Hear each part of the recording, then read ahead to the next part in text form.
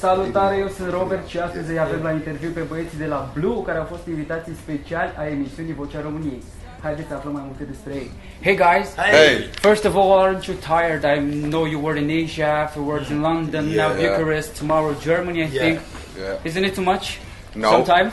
No, I'm s- I, mean, I- I think we, you know we, it's important to get your rest, uh, but it's also important to see as many fans as possible and have as many interviews as possible because we have a brand new album. I You know, know. we haven't been together for quite some time now, and uh, you know we just want to get started again. This feels feels good. I know like you're, we can't. yeah. I'm joking. I know you're promoting your new album, Roulette. Yes. Uh, why 10 years till the new material? We didn't plan that. You know, it just it's just the way that it came around. The last Mm-hmm. studio album um, was 2003, wasn't it? Three, four.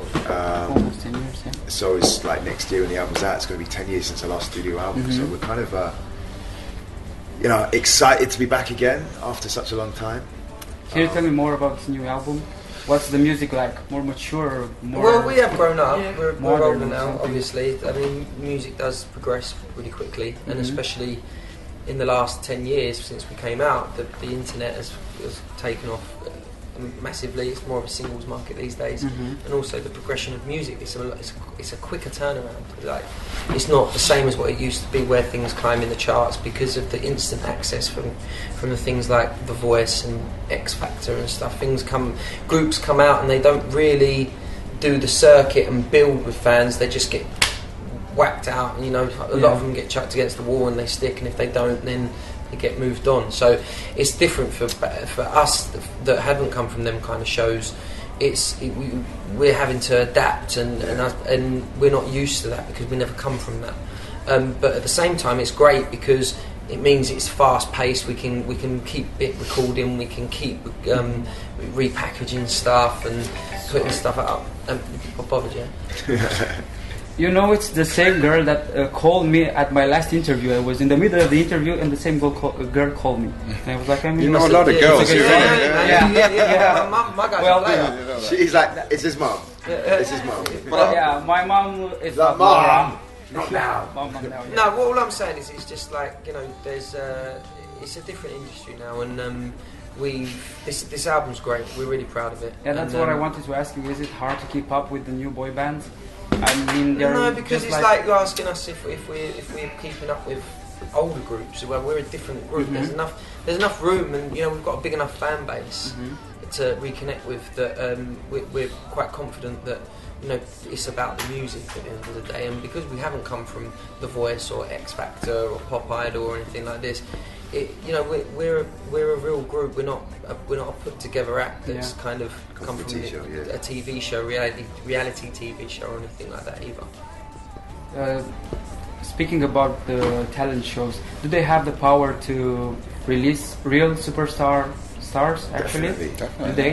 Yeah. Um, I mean, I don't And know about. is it easier to come from a TV talent show or? I think nowadays it is a lot easier. I mean, we, we come from the old school kind of uh, where you have to graft. You go around, you do lots of different gigs in schools and clubs, radio promotion, and that's how you get people to know you. But nowadays, you can go on a television show with an audience of 2 million, 3 million, in the UK, 10 million plus. So instantly you're hitting a mass market. So it's really easy for bands to elevate themselves on that level. But, you know, we never had that luxury. We, we're from the old school. We went round and we built our fan base up from scratch, and um, um, and, and, I, and I guess that we don't know what it's like for big bands like One Direction, and they don't know what it's like for us because Yeah. we, we come from two different worlds in the music industry.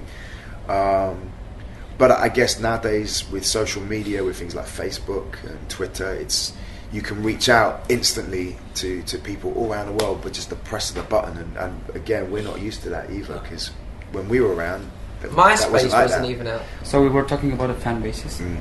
Come on, you used to start. no, no, no. Is it as stronger as it was uh, in Um, 2000 or I- 2002? I, I'd, I'd like to say that um, our fan base has grown with us. Mhm. You know, um, we used to have a fan base. They said in between eight and eighty. That was our fan base with our, with our records. So we was very very privileged when it comes to that. But nowadays, when we go out now, um, we DJ a lot in clubs, and those girls are in the clubs now, who are in their early twenties, are saying that they used they saw us when they were younger. So it feels it feels like our fan base will grow with us as, as we have grown, and you know this brand new album is is it's a brand new sound, and um, we think it's going to connect very very well with with, uh, with our fan base. Do you think that the newer boy bands have their time limited in their uh, music industry? I mean, like they have a boom for one or two years, I- I- then I- they disappear. Someone the else thing comes is, I up think and about steals the boy bands is the. I think the thing about us as a group, because that's the only thing I can kind of uh, make uh, kind of um, Relevance relevance, to. to. Yeah, is that um, you know we we always had quite a mature sound from the Mhm. beginning. You know, if you come back and all these kind of songs, they were they were mature from the start. Um, you know, if you come back, um, sorry seems to be the hardest word. Breathe easy, guilty. These are classic songs.